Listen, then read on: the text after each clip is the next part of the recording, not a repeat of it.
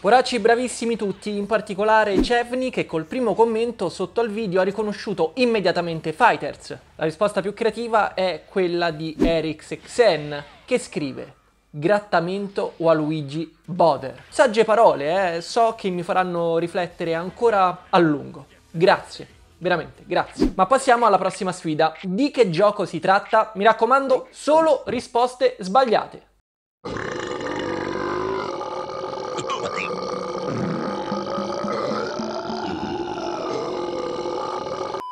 Poracci, bentornati o benvenuti sul mio canale, l'unico di YouTube Italia dove si parla di videogiochi anche di quelli che in Italia non si fila nessuno, lo so. Oggi torniamo a fare gli unboxing poracci e in particolare questa volta sono in super hype perché andremo a spacchettare una Collector's Edition gigantesca di un gioco che è stato recensito con super votoni e che è anche uno dei più attesi su Nintendo Switch sin dal suo annuncio nel 2017. La copertina l'avete vista, gli indizi sono chiari, quindi avete capito a cosa mi riferisco. Sto ovviamente parlando di Shin Megami Tensei 5 nella sua versione Fall of Man Premium Edition. Quindi benvenuti a questo unboxing poraccio, ma prima di iniziare, come al solito, vi invito a supportarmi nella conquista non violenta di YouTube Italia. Lasciate un like e iscrivetevi al canale attivando la campanella delle notifiche. Basta solo questo. Inoltre vi ricordo che stasera ci sarà la live esclusiva aperta a tutti gli abbonati al Porion. Se siete interessati trovate il link in descrizione. Ho detto tutto, iniziamo!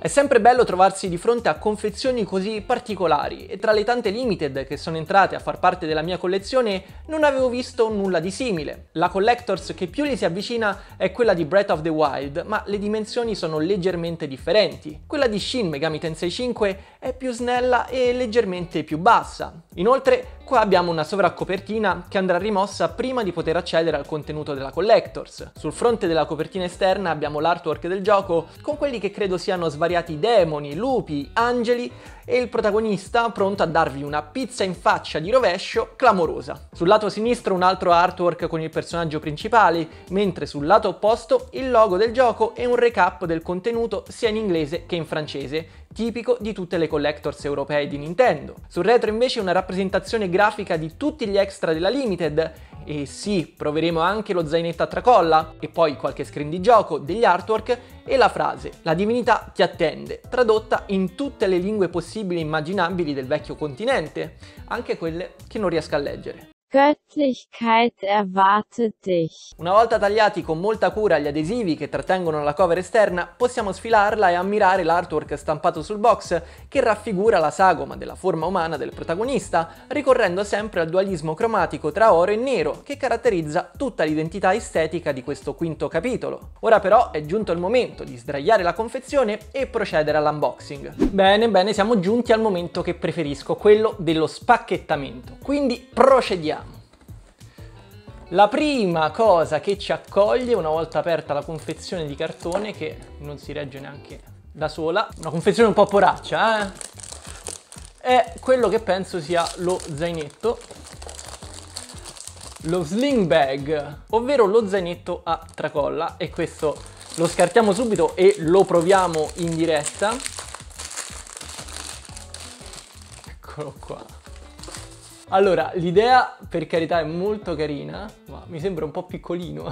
Direi che è proprio il caso di provarlo su un trentenne alto 1,90 m. Vediamo che effetto fa.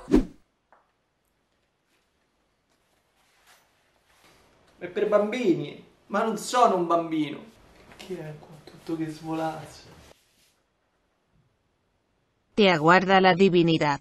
Dentro c'è un po' di imbottitura, il libretto di istruzioni dello zainetto e la sagoma di Jack Frost, magari sto dicendo una cavolata, comunque di uno dei demoni arruolabili nel gioco, se non sbaglio, perdonatemi, non sono così esperto della saga di Shin Megami Tensei, comunque tolto lo zainetto dall'equazione possiamo procedere con l'unboxing dei restanti contenuti della Fall of Man Premium Edition Abbiamo come prima cosa la colonna sonora su due dischi, attenzione, ben 10 tracce sul primo disco e 25 sul secondo, non male, non è solo una selection, forse è la colonna sonora nella sua interezza, bello, molto elegante, anche se ormai non penso ci sia qualcuno che utilizzi CD per ascoltare la musica. Avrebbe fatto comodo magari un codice di download, solitamente si fa così con CD e vinili, da accompagnare con queste edizioni su disco eh, per facilitare insomma la riproduzione. Però insomma la cover è molto elegante, la confezione è ultra slim ma fica e come, come bonus lo promuovo. Poi andando avanti penso che questo sia l'artbook intitolato The Forbidden Book of Demons, il libro proibito dei demoni. Lo andiamo a scartare immediatamente. Vi posso dire già da adesso che al tatto è pesante. Il libricino effettivamente è un po' compatto ma sembra bello spesso.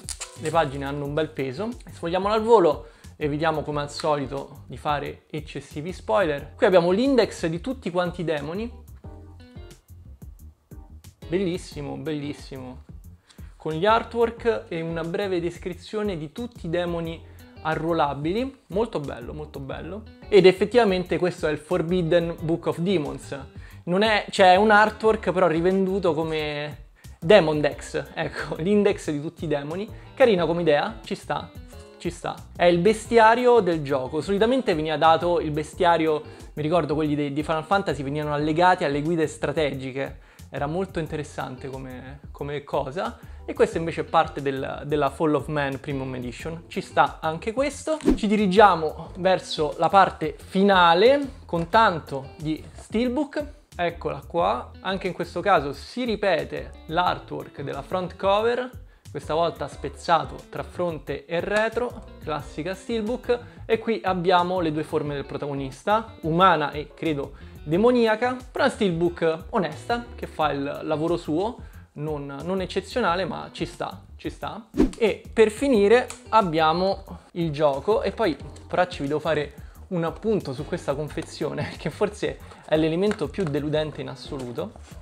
Gioco in versione triangolo rosa o viola, che riprende l'artwork presente sul retro della confezione con tutte quante le lingue presenti nell'edizione europea. Lo andiamo a scartare, ma come ormai già sappiamo, oltre alla cartuccia ci sarà solamente l'avvertenza per uh, l'epilessia scritta in francese. Poro Prediction. E infatti è così. Di nuovo, stesso artwork spammato ovunque. Era carino la prima volta, era carino anche la seconda, rimane carino anche la terza, ma forse potevano usare qualcosina in più, questa è la cartuccia. Qualcuno nei commenti di solito suggerisce che queste cartucce andrebbero assaggiate, ma penso di aver fatto già abbastanza provando lo zainetto, quindi magari sarà per il prossimo unboxing. E questo poracci era tutto il contenuto di questa edizione che è un po', non dico scarna, un po' basic, un po' essenziale. La cosa dello zainetto è, come direste voi giovani, abbastanza cringe. Fosse stato un pochino più grande avrei anche capito, ma così è sostanzialmente inutilizzabile, ma la critica vera che devo fare a questa Fall of Man Premium Edition, perché viene indicata come un'edizione di valore, di lusso premium, è che la confezione di cartone fa schifo e questa in particolare penso soffra di un difetto di fabbrica, ma è sostanzialmente tutta... non è rotta, non è rotta, ma ogni sua componente non è stata saldata, incollata, quindi è come se fosse ancora da comporre ed è una vera, una vera poracciata. Questo proprio non, non lo accetto, è inammissibile, peccato, uno scivolone da parte di, di Atlus o chi si è occupato di, di distribuire la Limited in Europa.